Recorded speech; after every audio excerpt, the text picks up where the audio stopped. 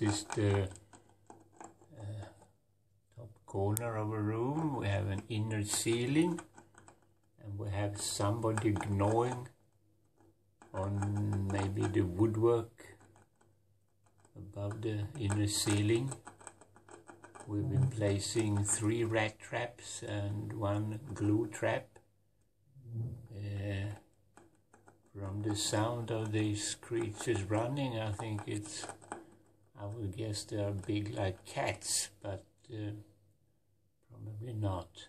I really, and they're running fast in the night when I can't see there is any light up there. Maybe they know by by heart their surroundings. Uh, so the hunt goes on. It's a bit of a living under the rats. I think sometimes I can.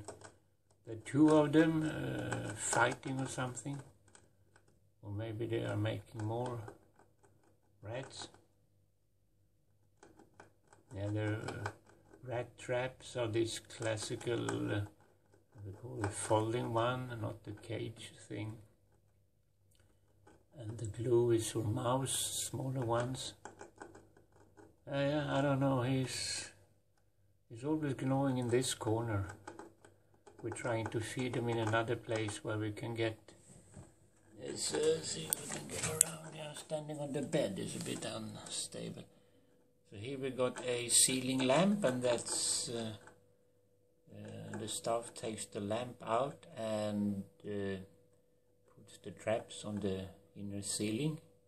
Okay, let's see how it's going.